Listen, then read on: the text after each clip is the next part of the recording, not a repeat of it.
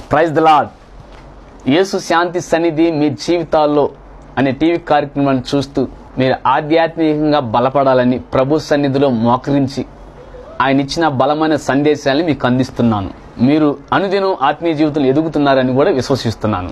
వాక్యదానాలకు వెళ్దామా? ఈరోజు మూల వాక్యము సామెతల గ్రంథం ఇరవై ఎనిమిదవ అధ్యాయము పదమూడవ వచనం. అతిక్రమములు దాచిపెట్టువాడు వర్ధిల్లడు.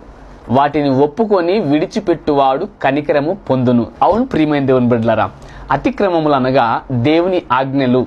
దేవుడు ఏ పని చేయొద్దన్నాడో అనగా పాపము చేయొద్దని చెప్పాడు. ఆ పనిని చేయటం ఆజ్ఞాతిక్రమము అదే రీతిగా వాటిని ఆజ్ఞాతి ఆజ్ఞాతిక్రమములు చేసి వాటిని ఒప్పుకోకుండా దాచిపెట్టుకున్న వాళ్ళు కూడా బలమైన పాపం ఉన్నట్లే. ఆజ్ఞాతిక్రములన్నీ చేసాం ప్రవ్వా మా తప్పులు పాపాలు క్షమించని అడిగితే అడగటమే కాకుండా వాటిని ఒప్పుకొని విడిచిపెడితే కనికరం పొందుతాడంట. చూడండి ఒక పాపం చేసిన తర్వాత తెలుసో తెలియకో తిరిగి దేవుని వాక్యాన్ని విని నేను చేసింది ఘోరమైన పాపం ఘోరమైన తప్పని గ్రహించి వాటిని ఒప్పుకుంటే వర్ధిల్లుతాం. ఒప్పుకొని తర్వాత వర్ధిలే ఇంకా బలంగా ముందుకు సాగాలంటే వాటిని విడిచిపెడితేనే కనికరం పొందుతాం. ఒప్పుకొని విడిచిపెట్టకుండా ఇంకా మాటి మాటికి పాపం చేస్తున్నాం అనుకో వర్ధిల్లటం తర్వాత సంగతి కదా దిగజారిపోతావు పాతాలనికి రేపు నరకానికి వెళ్తావు. అదే గనక మరి ఒప్పుకొని విడిచిపెట్టావనుకో కనికరం పొందుతావు. విడిచిపెట్టలేదనుకో దేవుని ఉగ్రతను నీ మీద భయంకరంగా రుచి చూస్తావు.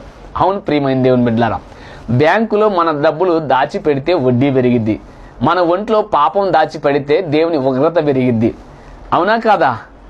అలాగే బ్యాంకుకి మనం అప్పు ఉంటే మనం అప్పు కట్టకపోతే మనకు నోటీసులు ఇచ్చి మన ఇంటినో మన పొలాలనో వారు వేలం వేస్తారు సీజ్ చేస్తారు. అదే రీతిగా దేవుడు చేయొద్దన్న పనులను ఆజ్ఞ అతిక్రమించి నీ ఒంటి నిండా పాపాన్ని నింపుకొని ఉంటే దేవుడు కూడా రేపు ఆయన రాకడలో ఆయన ఎదుట నిలబెట్టి నీ తాటతోలు వలిచి చక్కగా నరకం వేస్తాడు అదేదో నీ ఒంటిలో ఉన్న తప్పులు పాపాలన్నీ ఒప్పుకో. దేవుడు నేను దీవిస్తాడు. అందుకే అతిక్రమములు దాచిపెట్టువాడు వర్ధిల్లుడు. పాపం చేసే ఏ వ్యక్తి అయినా వాడు వర్ధిల్లుడు. అంటే మన కళ్ళ ముందు కనపడుచయ్యా ఈ లేచిన కాంచి వడ్డీలకి ఇస్తారయ్యా ఆ స్థలాలు ఈ స్థలాలు ఈ పొలాలు ఆక్రమించుకుంటారయ్యా. పేద ప్రజను దోచుకు తింటున్నారయ్యా. జలగల్లాగా పట్టి పీడుస్తున్నారయ్యా. వీరు చాలా బాగున్నారు కదా అని మీరు నన్ను అడగొచ్చు. అవును ప్రియమైన దేవుని బిడ్డలారు ఒక విషయం తెలుసా? వారు అన్యాయంగా అక్రమంగా వక్రమంగా సంపాదించి వర్ధిల్లుతున్నాడు అనుకుంటున్నావేమో కానీ పాపము మూటను పెంచుకుంటున్నాడు. బ్యాంకులో ధనాన్ని దాచుకోవడం కాదు. తన ఒంటిలో ఇంటిలో కుటుంబాన్ని దాచుకొని రేపు భయంకరమైన శిక్ష అనుభవిస్తున్నాడు. అదే గనక ఇప్పుడు నువ్వు పాపాన్ని ఒప్పుకున్నావు కదా కష్టాలు శ్రమలు వచ్చినాయి అనుకుంటున్నావు. ఎందుకు తెలుసా? ఇప్పుడు దాకా సాతాన్తో సహవాసం చేసావు పాపంలో తిరిగావు. మరి పాపంలో తిరిగి ఒక్కసారిగా సాతాను వదిలిపెట్టి దేవుడి దగ్గరికి వస్తే వాడు ఎందుకు ఊరుకుంటాడండి? వాడు నీ ఎమట పడ్డో? రా రా మరలా పాపం చేయమని. కాబట్టి నీకు ఈ పరిస్థితులు వచ్చినాయి. ధైర్యంగా ఉండు. నీకు ఒక శుభవార్త ఏమిటి తెలుసా? నువ్వు అతిక్రమం చేసావు. దేవుడు చేయొద్దని ప్రతి పాపాన్ని చేసావు. అది పాపం తప్పు అని తెలుసుకొని ఇప్పుడు వాటిని ఒప్పుకున్నావు. వర్దిల్లబోతున్నావు వర్దిల్లుతున్నావు దేవునికి స్తోత్రం. హాలేలుయా అంతేకాదు తప్పును ఒప్పుకున్నావు కదా? మళ్ళీ వాటిని విడిచిపెట్టావనుకో కనికరం పొందుతావు. నువ్వు నీ కుటుంబం అందరు కనికరం పొంది గొప్పగా దేవుని రాజ్యం కలుసుకుంటారు. చూద్దాం పరిశుద్ధమైన జీవ గ్రంథం ఏం బోధిస్తుందో. ఆది కాండము మూడవ అధ్యాయము పదకొండవ వచ్చిన ధ్యానం చేస్తే అందుకు ఆయన నీవు దిగంబరమని నీకు చెప్పిన వాడెవడు? నీవు తినకూడదని నేను నీకు ఆజ్ఞాపించిన వృక్ష ఫలములు తింటివా? అని అడిగాను. ప్రియమైన దేవుని బిడ్డలారా ఈ ఉదాంతం అంతా కూడా మనకు తెలుసు. ఎన్నో మార్లు ఎంతోమంది శ్రేష్టమైన భక్తులు చెప్పారు. ఆదాము గారికి అంత బలమైన ఏదేని తోటలో సుందరమైన ఏదేని తోటలో అన్ని మహావృక్ష ఫలాలు దాదాపు ఒక వంద వేసాడు అనుకోండి. తొమ్మిది తొమ్మిది వృక్ష ఫలాలు తినమన్నాడు వందోది తినొద్దన్నాడు. పనిలు ఆదాము తినకుండా ఉన్నాడు. కారణం ఏమిటంటే ఆదాము గనక వృక్షఫలం తిన్నాడు తిన్న తర్వాత ఆయన దేవుని సన్నిధిలో దూరం అయిపోయాడు అంటే ఆ వృక్షఫలం తినకముందు దేవుడితో సత్సంబంధం కలిగి ప్రతిరోజు ఆ ఏదేని తోటలో సంతోషంగా దేవుడితో ఆటలాడుకుంటూ మాట్లాడుకుంటూ ముచ్చట్లు చెప్పుకుంటూ అయ్యా ఈరోజు ఈ పులితో ఈ సింహంతో ఈ మేకలతో ఈ గొర్రెలతో ఆడుకున్నామయ్యా. ఇదిగో ఈ కాకకి ఈ కొంగకి ఈ ముసలికి పేర్లు పెట్టానయ్యా అని దేవుడితో ప్రతిరోజు సంభాషించే ఆదాము దేవుడు చేద్దాన్ని పని చేశాడు దేవుడు అడుగుతున్నాడు నాయనా నువ్వు దిగంబరం అని ఎవడు చెప్పాడు? అంటే సాతాను గడు చెప్పాడు. అవునా కాదు ప్రియమని దేవుని బిడ్డారా ఎందుకు నేను చేయొద్దని పని చేసావంటే ఆదాం అంటున్నాడు అయ్యా ఇదిగో అదే పన్నెండు వచనంలో. అందుకు ఆదాము నీవు నాతో నుండుటకు నీవు నాకు ఇచ్చితివే. ఆ స్త్రీ ఆ వృక్ష ఫలములో కొన్ని నాకు తెచ్చి ఇక నేను తింటిని. ఎవరు చెప్పారు తండ్రి? నేను తిన్నానని. నేనుగా తింది. నాకంటే ముందు నా భార్య లేదు. కొన్ని వృక్ష ఫలాల్లో ఆమె చాలా తెచ్చుకుంది. చాలా తెచ్చుకొని మరిన్ని తిని నాకు కొద్దిగా ఇచ్చిందయ్యా నువ్వు నాకు ఇచ్చేవు కదా ఆమె. నువ్వు కనుక నాకు ఆమె భార్య గీలేదు అనుకో నేను వృక్షఫలం తినేవాడు కాదు అని ఆదాం అంటున్నాడండి. ఎంతకి నింద ఎవరి మీద వేసాడండి తన ఆజ్ఞతిక్రమాన్నని దాచిపెట్టుకున్నాడు. వాటిని ఒప్పుకొని విడిచిపెట్టి అవకాశం వచ్చి కనికరం పొందే అవకాశం వచ్చినా ఆదాం ఒప్పుకోకుండా తన భార్య మీదకి నింద వేసాడండి అంటే మొదట నింద దేవుడి మీద వేసాడు అయ్యా నువ్వు గనక నాతో ఉండటానికి నువ్వు ఈ స్త్రీ లేదనుకో నా ఆ స్త్రీ నాకు వృక్షఫలం తెచ్చేది కాదు. కాబట్టి నువ్వు నాతో ఉండటానికి స్త్రీ ఇచ్చేవు కదా. కాబట్టి ఆమె తెచ్చింది నేను తిన్నా. అంటే గాని ప్రియమని దేవుని బిడ్డలారా చేసిన తప్పును ఒప్పుకోలా చూడండి దేవుడి మీద మొదట నిందేశాడు. తిరిగి తర్వాత తన భార్య మీద వేసాడు ఆదం ఏం తప్పు చేయనట్టు మామూలుగా ఉన్నాడండి ప్రియమని దేవుని బిడ్డలారా. వాస్తవానికి చాలా మంది అంటాడు ఆ చెట్టు పెట్టబోతే ఏమైద్దయ్యా? ఆ చెట్టు వల్ల నేను తెప్పలు వచ్చిన ప్రపంచానికి అనుకుంటూ ఉంటాను లేదు నా సహోదరి నా సహోదరులారా ఆ చెట్టులో కానీ ఆ తోటలో కానీ పాపం లేదండి. ఆ పండులో కూడా పాపం లేదు. పాపం ఏమిటో తెలుసా? దేవుడు చేయొద్దని పని చేయటమే పాపం. దేవుడు చెయ్యమన్న పని చేయకపోవటం పాపం. దేవుడు ఆ వృక్ష ఫలాల్ని తినొద్దన్నాడు. ఎందుకో తెలుసా? ఏమండి? మన బిడ్డలు ఎవరి మాట వినాలని కోరుకుంటాం?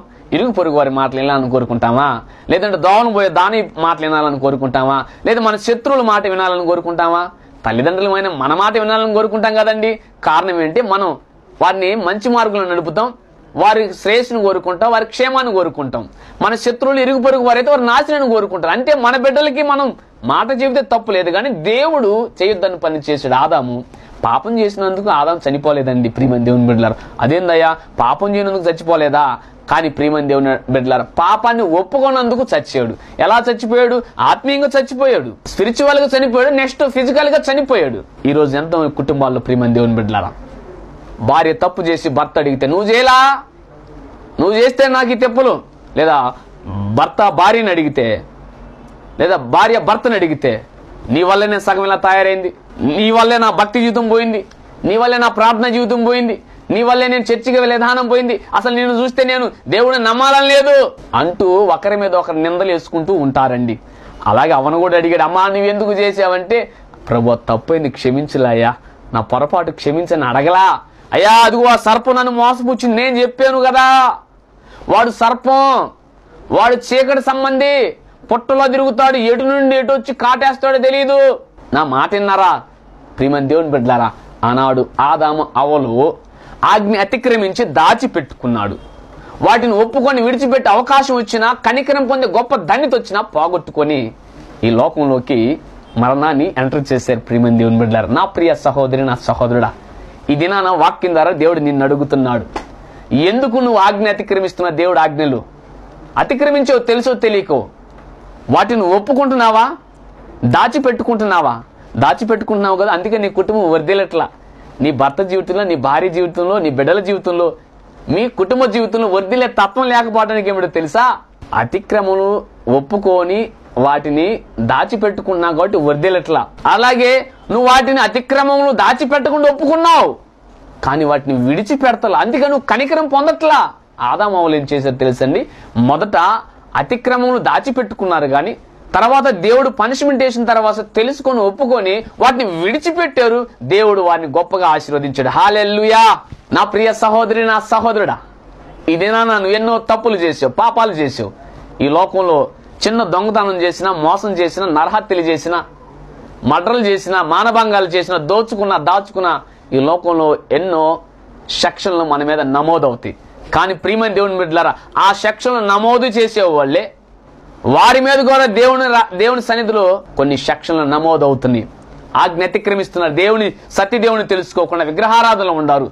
అన్యాయంగా అక్రమంగా జీవిస్తున్నారు. వారికి తెలుసో తెలియదు ఏమిటో తెలుసా? వారి మీద కూడా దేవుని సన్నిధిలో వారి మీద కొన్ని క్రైమ్స్ రిజిస్టర్ అవుతున్నాయి. వారు ఏ పాపం చేస్తున్నారో ఏ తప్పు చేస్తున్నారో వారి మీద అక్కడ క్రైమ్లు రిజిస్టర్ అవుతున్నాయి. వారు చచ్చిన తర్వాత వాటి కొరకు వెళ్ళాల్సి వచ్చింది. పనిష్మెంట్ పొందే పరిస్థితి భయంకరంగా ఉండిద్ది ఈ వాక్యాన్ని విన్న నా ప్రియ సహోదరి నా సహోదరుడా ఇది నానే నువ్వు అతిక్రమములు దాచిపెట్టుకోకుండా వర్దిలే స్థితిలోకి రావాలంటే ఒప్పుకో ప్రభు నా పాపాలు క్షమించు నేను చేయను ఇక అని చెప్పటమే కాకుండా విడిచిపెట్టు గొప్పగా వరుదులతో అందుకే ఏబు భక్తుడు ఏబు గ్రంథం ముప్పై ఒకటవ అధ్యాయం పద ముప్పై మూడవ వచ్చిన చూస్తే ఆదాము చేసినట్లు నా దోషములు దాచిపెట్టుకొని ప్రేమ దేవుని బిడ్డలారా ఆదాము తన దోషాలన్నీ దాచిపెట్టుకొని తన పాపాలని మూటగట్టుకొని నెత్తిన పెట్టుకొని ఏదైనా తోటలో నుండి లోకంలోకి వచ్చి శ్రమలు కష్టాలు ఇరుకు ఇబ్బందులు అవమానాలు నిందలు ఆకులు దప్పులు అన్నీ తీసుకొచ్చాడండి.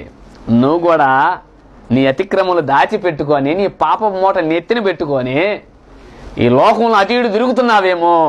ఖచ్చితంగా ఒకవేళ నువ్వు సస్తే పాతాళానికి వెళ్తావు నరకానికి వెళ్తావు. అప్పుడు ఒప్పుకున్న ఉపయోగం లేదు. ఇప్పుడు ఒప్పుకో. ఒప్పుకోవటమే కాదు విడిచిపెడతాను ప్రభు అని తీర్మానించి ఎంతో మంది పాపాలు ఒప్పుకుంటారండి. ఒప్పుకోవటం ప్రాముఖ్యం కాదు ఒప్పుకొని విడిచిపెట్టాలి. వారు గొప్పగా కనికరం పొందుతారు వర్ధిల్లుతారు. ఒక విషయం తెలుసా?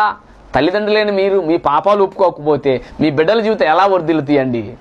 మరి తల్లిదండ్రులైన మీరు వాటిని పాపాలను విడిచిపెట్టకపోతే మీ బిడ్డల కుటుంబాల మీద మీ బిడ్డల జీవితాల మీద దేవుడు ఎలా కనికరం చూపుతాడండి?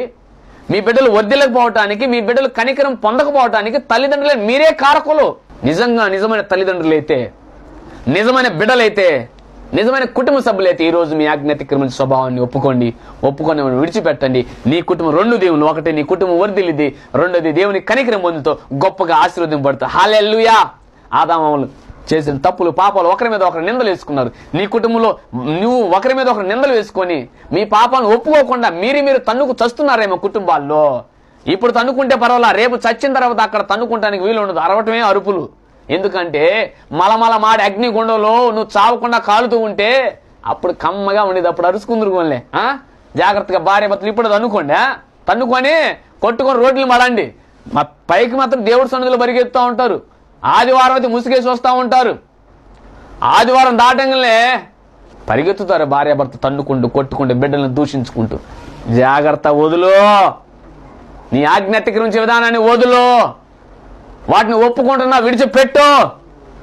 లేకపోతే పాతాలకు వెళ్ళిపోతాం చూద్దాం ఒక మరి ఒక శ్రేష్టమైన వాక్యాన్ని చదువుకుందాం.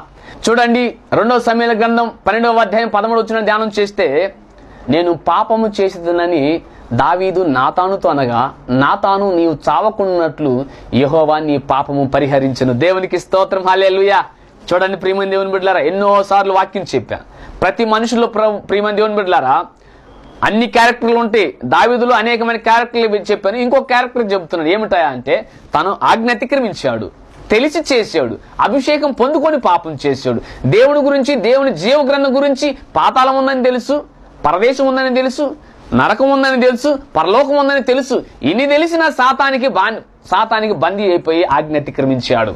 పాపం చేశాడు. దేవుడు తన వాక్యాన్ని తన దోద్దారు పంపించినప్పుడు అయ్యా నువ్వు మరి ఇట్లా పాపం చేసావంటే నేను ఎప్పుడు చేశానయ్యా? ఎవరు చూశారు? సాక్ష్యం చెప్పు. నేను చేయలా. ఆమె వచ్చింది. నేను ఎందుకు చేస్తానని ఎదురు తిరగలేదు ప్రియమని దేవుని బిడ్డలారు మనలాగా. ఆదాం అవల్లాగా వారు పాపాలను దాచిపెట్టుకోవాలా? ఆయన ఆజ్ఞ అతిక్రమించే విధానాన్ని దాచిపెట్టుకోవాలా? వెంటనే ఏమన్నాడు తెలుసా? అయ్యా నేను పాపం చేసి తని అన్నప్పుడు ఎప్పుడైతే నేను పాపం చేసిన ఒప్పుకున్నాడో ప్రత్యాతాపంతో వెంటనే నా తన గారు చెబుతాను నీవు చావకుండానట్లు యహోవా నీ పాపాన్ని పరిహరించే దేవునికి స్తోత్రం. హల్లెలూయా. ఎంత గొప్ప శుభవార్త చూడండి. పాపం చేసిన తప్పుని పాపాన్ని ఒప్పుకుంటే మనకు చావు రాదండి ఏ చావు? స్పిరిచువల్ నిజమైన చావు. అగ్నిగుణంలో ఉంది. అక్కడ అగ్ని ఆరదు పురుగు చావదు. కాబట్టి ఆ మరణం తప్పిస్తాడు. నువ్వు పాపం ఒప్పుకుంటే ఇప్పుడు ఒప్పుకున్న ప్రియమని దేవుని బిడ్డలారా దేవుడు సన్నిధికి వచ్చి రక్షణ పొంది మరలా తప్పటడిగేసేవేమో లేదా పాపంలోకి వెళ్ళాలని చూస్తున్నావేమో గడప దాటాలని చూస్తున్నావేమో భర్త ఇంట్లో లేడని భార్య ఇంట్లో లేదని పరాయి ఉండాలని చూస్తున్నావేమో తల్లిదండ్రులు చూడట్లేదు కదని ఇష్టానుసారంగా పాపం జీవిస్తున్నావేమో. జాగ్రత్త నువ్వు అగ్నిగుండమని మహా భయంకరమైన శిక్ష ఉంది ఇప్పుడు నువ్వు చేసిన పాపము దేవుని ఆజ్ఞ అతిక్రమలను ఒప్పుకో. ఒకటి ఒకటి ఒప్పుకొని విడిచిపెట్టు. గొప్పగా నువ్వు వర్ధులతో కనికరం పొందుతావు దేవుడు మిమ్మల్ని నిండారుగా దీవించిన గాక. ఇలాంటి అనుభవంలోకి రా. దావిదు అన్నీ తెలిసి పాపం చేసిన తర్వాత దేవుడు ఏమైనా వదిలేశాడండి? అంటే చక్కని మాట. హోషయ గ్రంథం ఆరో అధ్యాయం ఏడో వచ్చిన ధ్యానం చేస్తే ఆదాము నిబంధన మీరినట్లు వారు నా ఎడల విశ్వాస ఘాతుకులై నా నిబంధనను మీరి ఉన్నారు ప్రియమా దేవుని బిడ్డలారా దేవుని తెలుసుకొని దేవుని పదాజ్ఞలు తెలుసుకొని యేసుక్రీస్తు ప్రభు యొక్క శిలువ విలువను తెలుసుకొని పాపాలు ఒప్పుకొని ఒకసారి కనికరం పొంది ఆయన రక్తం ద్వారా కడగబడి బాప్తీసం పొంది ప్రార్థన చేసుకుంటూ బైబిల్ చదువుకుంటూ చర్చికి వెళ్ళి బలారాధన చేవేస్తూ మరలా దేవుని విషయంలో త్రప్పిపోయి పాపం చేసిన వాళ్ళందరూ కూడా విశ్వాసఘాతుకులండి దేవుణ్ణి మోసం చేసిన వాళ్ళు పెద్ద మోసకారులు యేసుక్రీస్తు ప్రభుని బాహాటంగా సిలువేస్తున్న దౌర్భాగ్యులండి. ఆనాడు యూదులు తెలుసో తెలియకో యేసుక్రీస్తు ప్రభుని సిలువేస్తే ఈనాడు యేసుక్రీస్తు ప్రభుని అనుభవ జ్ఞానంతో తెలుసుకొని మరలా మరలా సిలువేస్తున్న దౌర్భాగ్యులు దౌర్భాగ్యురాలు ఉండారండి ఈ లోకంలో. నువ్వు ఏ స్థితిలో ఉన్న నా ప్రేమ దేవుని బిడ్డలారా దావిదు తెలిసి పాపం చేశాడు. అయితే కనికరం క్షమాపణ అడిగాడు అయ్యా ఇంకెప్పుడు చేయనన్నాడు నిజమేనండి. దావిదు వృద్ధాప్యంలో అభిషేక్ అనే ఒక ఒక చిన్నదాన్ని దావిదికి వెట్టగలగటానికి దావిదికి భారీగా ఉంచితే దావీదు ముట్టనే ముట్టలేదండి. చూడండి ఒక్కసారి తన అతిక్రమంలో ఒప్పుకున్నాడు వర్దిల్లేయాడు తిరిగి వాటిని విడిచిపెట్టాడు కనికరం పొందాడు. అందుకే తిరిగి గొప్ప స్థితికి తన బిడ్డల జీవితాల్లో సలోమాని గారిని మహాజ్ఞానం చేసి దేవుడు ఉపయోగపడ్డాడు. దేవునికి స్తోత్రం. హాలెల్లుయా. చూడండి విశ్వాసఘాతుకులే దేవుని మోసం చేస్తే. చూడండి మరో చక్కని వాక్యాన్ని చూద్దాం. కీర్తన గ్రంథం నూట పద్దెనిమిదవ అధ్యాయం పద్దెనిమిదవ వచ్చిన ధ్యానం చేసినట్లయితే యెహోవా నన్ను కఠినంగా శిక్షించిన గాని ఆయన నన్ను మరణమునకు అప్పగింపలేదు. దేవునికి స్తోత్రం. హలెల్లుయా. దేవుని తెలుసుకొని బాప్తిసం పొంది పాపం చేస్తే తప్పిపోతే దేవుడు కఠినమైన శిక్ష వేస్తాడండి. దావిదికి కఠినమైన శిక్ష వేశాడు. ఆయనకి మరణాన్ని అనుమతించాలి. అంటే అగ్నిగుండాన్ని తీర్పులో అగ్నిగుండాన్ని తప్పించాడు కానీ శరీరంతో చేసిన వాటికి శరీరంతో భయంకరమైన పనిష్మెంట్ వేసాడు రాజే తలకు గుడ్డ కప్పుకొని కాళ్ళకు చెప్పులు లేకుండా ముళ్ళ పొదల్లో గచ్చ పొదల్లో కొండల్లో పిచ్చి కుక్క తిరిగినట్టు తిరిగాడు. ఎందుకో తెలుసా? తెలిసి పాపం చేశాడు. నా ప్రియ సహోదరి నా సహోదరుడా నువ్వు తెలిసి పాపం చేసావా దేవుడి దగ్గర మళ్ళీ ఒప్పుకోలేదా? అందుకే నీకు కఠినమైన శిక్ష పడు! చస్తే నరకాన్ని వెళ్తావు. ఒకవేళ క్షమించు మారు మనసు రక్షణ బాప్తీసం పొంది తప్పిపోయావేమో ఒకవేళ దేవుడు ఒప్పుకుంటే ఒకవేళ రక్షణ పొందేవు కదా. మరలా నీ నూతన పరచడం అసాధ్యమని వాక్యం ఉంది కాబట్టి ఒకవేళ క్షమాపణ కోరి వాటిని విడిచిపెట్టి పరి బాగా పశ్చాత్తాపంతో దేవుడి చిత్తమైతే నేను మరలా కనికరించి లేవనెత్తుతాడు. అందుకే అతిక్రమము చేయవాడు వర్ధిల్లుడు వాటిని ఒప్పుకొని విడిచిపెట్టువాడు కనికరము పొందును. హాలెల్లుయా! నీ కుటుంబ జీవితంలో నీ జీవితంలో నీ బిడ్డల జీవితంలో నీ బంధువుల జీవితంలో నువ్వు ఏది అనుకున్నా ఏది జరగాలన్నా నువ్వు వర్దిల్లాలన్నా కనికరం పొందాలన్నా దేవుని ఎదుట నీ పాపాలన్నీ ఒప్పుకో. ఒప్పుకున్నాక తర్వాత మరలా కక్కిన కూటికి పరిగెత్తబాక కుక్కలాగా పేతృభక్తులు అంటాడు. పేతురు గారు రాసిన రెండో పత్రిక రెండవ అధ్యాయం ఇరవై ఒకటి ఇరవై రెండు వచ్చిన చదివితే కుక్క తన వాంతికి తిరిగినట్లు కడుగుబడిన పంది బురదలో దొరుటకు మళ్ళినట్లు అని నిజమైన సామెత వారి పట్ల జరుగునట్టండి. నిజమేనండి.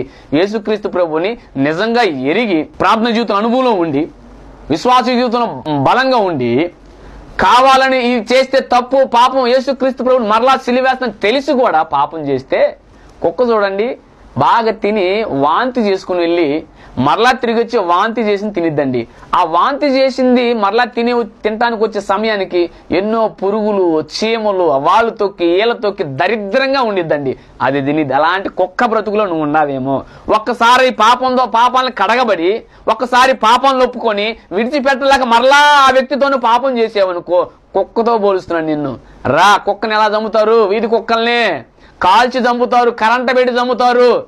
ఇక్కడ చస్తావు అక్కడ అగ్నిగుణం లేచి చావకుండా ఇస్తూ ఉంటాడు కోటింగ్. రా నా సహోదరి నా సహోదరు ఒప్పుకో. దేవుడి సన్నిధి పందులతో పోల్చాడండి. పంది ఎప్పుడు పైకి చూడదు కిందే. దానికి కింద కావాల్సిన మొత్తం ఎతుక్కు ఎతుక్కు తింటా ఉండిద్ది. దాన్ని కూడా ఏం చేస్తాడండి? దాన్ని వలేసి పట్టుకొని బాగా కాల్చి కండలు కండలు కోసి ఏ విధంగా చేస్తాడు? నిన్ను కూడా నరకంలో అలా చేస్తాడు. ఏసైనా ఒప్పుకో. నీ అతిక్రమలు ఒప్పుకో. ఒప్పుకున్నావు విడిచిపెట్టు. ఒప్పుకుంటున్నావు విడిచిపెడతలా. ఒప్పుకుంటున్నావు విడిచిపెట్టలా చీటి మాటికి నీ పాత రోత పాపిష్టి జీవితం పయనేసి తిరిగి నీ కుటుంబం వర్దిల్లకుండా నీ కుటుంబం కనికరం పొందకుండా నీ బిడ్డల చదువులు వర్దిల్లకుండా నీ బిడ్డలకి సకాలంలో పెళ్ళిళ్ళు కాకుండా నీ బిడ్డలు ఉన్నతమైన చదువులు చదవకుండా చదివిన వాటికి ఉద్యోగాలు రాకుండా అలాగే నీ బిడ్డలకు పెళ్ళిలే గర్భాలు తెరవబడకుండా నువ్వు ఇన్ని అప్పులు అవటానికి కారణం నీ పాపపు రోత పాస్టి పాపిష్టి జీవితాన్ని ఒప్పుకొని విడిచిపెడతలా. ఇక్కడేనరా దేవుడు నిన్ను వర్దిలి చేస్తాడు ఒప్పుకో. విడిచిపెట్టి కనికరం చూపేలా చేస్తాడు. అందుకు ఒక చక్కని మాట చూస్తే లుకాసు వార్త ఏడవ అధ్యాయం ముప్పై ఎనిమిదో వచ్చిన చూస్తే వెనక తట్టు ఆయన పాదముల యొద్ద నిలిచి ఏడ్చుచు కన్నీళ్ళతో ఆయన పాదములు తడిపి తన కురులతో తుడిచి ఆయన పాదములు ముద్దు పెట్టుకొని ఆ అత్తరు వాటికి పూసాను. దేవునికి స్తోత్రం. హల్లెలూయా. ప్రియమైన దేవుని బిడలారా చూడండి. ఒక వ్యక్తి ఆదాం గారు పాపం అయినప్పుడు దేవుడు చేయొద్దన్న పనిని చేసి లోకానికి పాపం తెచ్చాడు ఒప్పుకోలేదు మరణాన్ని తెచ్చాడు. తిరిగి దేవుడి దగ్గర కృపను పొంది కనికరం పొందాడు. ఒక వ్యక్తి ఏమో దేవుడు తెలుసుకునే దావిదు గారు ఇది పాపం అని తెలిసి కూడా దేవుని పనిష్మెంట్ ఇస్తాడని తెలుసుకుని పాపం చేశాడు. తిరిగి తన పాపాన్ని ఒప్పుకున్నాడు. తిరిగి మరలా దేవుని కృపను కనికరాన్ని పొందుకున్నాడు వర్దిల్లాడు చూడండి ఇక్కడే ఒక స్త్రీ ఘోరమైన పాపం జీవితంలో ఉంది. తన జీవితం అంతా ఆజ్ఞ అతిక్రమించటమే దేవుడు ఏ పనులు చేయొద్దంటాడు ఆ పనులు చేయటమే. కారణం ఏమిటంటే ఆ సమాజంలో ఉన్న వారి బోధకులు కూడా కొంతమంది కారు కారకులని కారణం అక్కడ ఉన్న సర్దుకాయలు శాస్త్రులు పరిచయలు కూడా బోధిస్తారు కానీ అనుసరించరు. అలాగే ఆ స్త్రీతో ప్రతి ఒక్కరు పాపం చేసిన వాళ్ళు ఉన్నారు ఆ స్త్రీ ఎన్ని పాపాలు చేసినా లెక్క పెడతానికి ఎవరు కౌంట్ చేయలు కానీ యేసుక్రీస్తు ప్రభు వారికి తెలుసండి. యేసుక్రీస్తు ప్రభు వారిని ఒకనొక సమయంలో పరిసేడు తన ఇంటికి భోజనానికి ఆహ్వానించినప్పుడు యేసుక్రీస్తు ప్రభు వారు తన శిష్యులతో వెళ్ళినప్పుడు ప్రేమ దేవుని బిడ్డలారా భోజనానికి సిద్ధపడే సమయంలో ఆ ఊర్లో ఉన్న పాపాత్మురాలనే స్త్రీ ఆమె బిరుదు పాపాత్మురాలు. ఇంకేం పేరు పెట్టలే. అలాంటి మహాఘోర పాపాత్మురాలనే స్త్రీ ఆ పరిసేడు ఇంట్లోకి వచ్చినప్పుడు ఆ పరిసేడు చూస్తున్నాడు అసలు ఎందుకు వచ్చింది ఈ స్త్రీ? నా ఇంట్లోకి ఎందుకు వచ్చింది? అయ్యో ఒకవేళ నేను గతంలో ఆమెతో పాపం చేశాను కదా ఒకవేళ మరలా ఆ స్వతంత్రం మీద నా ఇంటికి వచ్చిందా? ఈ విషయం నా భార్యకి తెలిస్తే నా కాపురం పోయిద్దేమో. అసలు ఇక్కడికి ఎందుకు వచ్చింది? ఆయన గడగడ వణుకుతున్నాడు. ఒక పక్క యేసుక్రీస్తు ప్రభు వెనక నుంచొని ఆయన పాదాల దగ్గర పడి కన్నీళ్ళు కారుస్తూ ఏడుస్తున్నట్టండి. ఏడుస్తుంటే ఈయన అనుకుంటున్నాడు ఏమిటి అంత ఘోర పాపాత్మరాలు మా ఇంట్లోకి రావడం పెద్ద పాపం అయితే? ఈయన యేసుక్రీస్తు ప్రభు కదా పరిశుద్ధుడు కదా పవిత్రుల కదా. పాపలను పుట్టకుండా పాపలను పెరగకుండా పాపల మధ్య తిరిగి పాపలు పవిత్రులు చేయడానికి వచ్చాడు కదా. ఈమె ఎలాంటి స్త్రీ అయితే ఈయనకి తెలిస్తే రాణిస్తాడా? ప్రియమని దేవుని బిడ్డలారా ఆ పరిచయుడు యేసుక్రీస్తు ప్రభు వారిని ఇంట్లోకి ఆహ్వానించాడు కానీ తన హృదయం అని ఒంట్లోకి ఆహ్వానించలా. ఎంతోమంది దేవుడి దగ్గరికి వెళ్తారండి దేవుడిని ఇంటికి పిలుస్తారు కానీ దేవుని వాళ్ళు ఇంట్లో హృదయంలో చేర్చుకోరు. చూడండి ఆ ఇంట్లోకి పరా ఇంట్లోకి వెళ్ళిన ఆ స్త్రీ ఆమె హృదయంలోకి ఏసైనా ఆహ్వానించుకొని తాను చేసిన ప్రతి తప్పుని పాపాలను ఆజ్ఞ అతిక్రమణను ఒప్పుకుంటూ ఉంటే ఏసైకి సుగంధ పరిమళాలు వెదజల్లుతున్నట్లు దోమ దోప ద్రవ్యాలు వెదజల్లుతున్నట్లు. ప్రియమైన దేవుని బిడ్డలరా సాంబ్రాణి వాసన సువాసన ఎలా వచ్చింది? అలాంటి వాసన దేవుడు యేసుక్రీస్తు ప్రభు ఆగ్రాని ఆగ్రానిస్తూ అబ్బా నా బిడ్డ ఏమి పాపాలు ఒప్పుకుంటుందయ్యా? ఓ ఎంత పాపాత్మని స్త్రీ నా దగ్గరకు వచ్చి నన్ను నిజంగా యేసుక్రీస్తు ప్రభుని అంగీకరించి తను ఏమాత్రం సిగ్గుపడక ఎవరి ముందు భయపడక తల దించుకోకుండా నా పాదాలతో నా పాదాల మీద తన కన్నీరు కార్చి తన కురులతో తుడిచి ఒక్కొక్క పాపాన్ని ఒప్పుకుంటుంటే ఏసైకి సుగంధ సుగంధ ద్రవ్య ద్రోపాలు ఏ విధంగా ఆ సాంబ్రాణి సువాసన ఎదజలుతాయో ఆ వాసన ఆగ్రహిస్తూ మురిసిపోతుంటే ఆయన అంటాడు హృదయంలో ఈమె ఎలాంటిదో దీనికి తెలుసా? యేసుక్రీస్తు ప్రభు వారు తర్వాత ఏం ప్రశ్న వేసాడు మనకందరికి తెలుసండి. ఈ ఎంతోమంది సంఘాల్లో యేసుక్రీస్తు ప్రభు సువార్త తాకి వాక్యం తాకి హృదయం కదిలిపబడి చర్చిలకు వెళ్తే ఆ స్త్రీను ఆ పురుషుడిని చూసి అబ్బో ఏం వచ్చిందండి బైబుల్ తీసుకోను. అబ్బో ఈడొచ్చాడు బైబుల్ తీసుకోను. అబ్బో వీళ్ళు చర్చికి వెళ్తున్నారు రోయ్. పనికి మాల కామెంట్ చేస్తూ ఉంటారండి. ఆ పరిసే స్వభావం లాంటి వాళ్ళు. వారు దేవుళ్ళలోకి రారు. వచ్చినా వారు పా- ఆజ్ఞ అతిక్రమం ఒప్పుకోరు వారు వర్దిల్లరు వాటిని ఒప్పుకొని విడిచిపెట్టరు కనికరం పొందరు. వాటిని ఒప్పుకొని విడిచిపెట్టి వర్దిల్లి కనికరం పొందడానికి వచ్చే వాళ్ళందరినీ హేళన చేస్తూ ఉంటారు దౌర్భాగ్యులండి. నా ప్రియ సహోదరి నా సహోదరుడా ఒకవేళ ఇలాంటి వారిని చూసి నువ్వు సిగ్గుపడుతున్నావు? సిగ్గుపడదు ఆ స్త్రీ చూడండి. స్త్రీకి అలంకారం ఏంటండి? కురులే కదా. ఆ కురుల్ని కాస్త తన కన్నీళ్ళను యేసుక్రీస్తు ప్రభు పాదాలను తడిపిందంటే ఎన్ని కన్నీళ్ళు కార్చిద్దండి? తుడిచి తన పాపాలను తుడిచి వేసుకుంటుందండి. కన్నీరు కాడు కారుస్తూ తన పాపాలను ఒప్పుకుంటుందండి. ఆమె తెచ్చిన అత్తరు ఏసయ్య పాదాలకు పోసినప్పుడు ఆ ఇల్లంతా సువాసనతో నిండిపోయిందండి. హాలెల్లుయ! ఆమె హృదయం అంతా సువాసనతో నిండిపోయిందండి. హాలెల్లుయ! ఆమె పాపపు కంపంతా పారిపోయిందండి. హాలెల్లుయా! నిత్య జీవం పొందుకుందండి. ఎప్పుడో తెలుసా? అతిక్రమములు దాచిపెట్టువాడు వర్దిల్లడు వాటిని ఒప్పుకొని విడిచిపెట్టువాడు కనికరం పొందును. ఆమె రెండు దీవులు పొందింది. ఇక పరలోక రాజ్యంలో వర్దిలే జీవితం. రెండోది కనికరం పొందే జీవితం. ఆమె జీవితాన్ని గొప్ప స్థితిలో దేవుడు ఆశీర్వదించడానికి ఆమె పాపాలు ఒప్పుకొని విడిచిపెట్టిందండి ఇంకెప్పుడు ఆమె పాపాలు ఒప్పుకుంది? మరలా ఎప్పుడు? వాటిని వాటి జోలికి వెళ్ళలేదండి నా సహోదరి నా సహోదర ఎవరో చూస్తున్నారని చర్చికి వెళ్తే సిగ్గుపడాల్సి వచ్చిందని ఎవరు ఏదంటారని ఇంట్లో ముడుచుకొని మూనలు కూర్చున్నావా? లేదు లేదు రా! నా ఏసే కొరకు నువ్వు సిగ్గుపడాల్సిన అవసరం లేదు. నీ పాపాలను ఏసుక్రీస్తు ప్రభు పాదాలకు రొప్పుకో. నేను గొప్పగా దీవిస్తాడు. అలా ఉంటావు కదా? అలా ఉండాలని ప్రేమతో ఈ వాక్యం ద్వారా మేము హెచ్చరిస్తున్నాను. అందుకే అతిక్రమములు దాచిపెట్టువాడు వర్ధిల్లుడు. వాటిని ఒప్పుకొని విడిచిపెట్టువారు కనికరం పొందుదురు. హాలెల్లుయ! ఇది మొదలుకొని. నీ ఆధ్యాత్మిక జీవితం నీ విశ్వాస జీవితం నీ భక్తి జీవితం నీ కుటుంబ జీవితం నీ బిడ్డల జీవితం నీ దాంపత్య జీవితం ఏ జీవితమైన వర్ధిల్లాలంటే మరలా అతిక్రమను దాచిపెట్టుకోకుండా ప్రభు దగ్గర ఒప్పుకో వర్దిలతో వాటిని ఒప్పుకున్న తర్వాత సంపూర్ణంగా విడిచిపెట్టు కనికరం పొందుతో. నెంబర్ వన్ స్థితిలో నీ నీ కుటుంబంలో నీ గ్రామంలో నీ సంఘంలో ఉంచకపోతే నన్ను అడగండి నిలదీయండి. నా ఏసై దగ్గర నువ్వు పాపాలు ఒప్పుకున్నావు ఒప్పుకొని విడిచిపెడుతున్నావు కాబట్టి నీకు శుభవార్తే గొప్పగా దేవుడు నేను దీవించబోతున్నాడు. ఇక నీకు లేమి ఉండదు. చూడు ఇప్పుడు దాకా నువ్వు వేటిని కోరుకున్నవి జరగలేదు. ఇక నుంచి ఒకటేమంటే ఒకటి ఒకటేమంటే జరగకపోతే అప్పుడు ఏసై ఆ విధంగా నేను దీవించును గాక ఆమె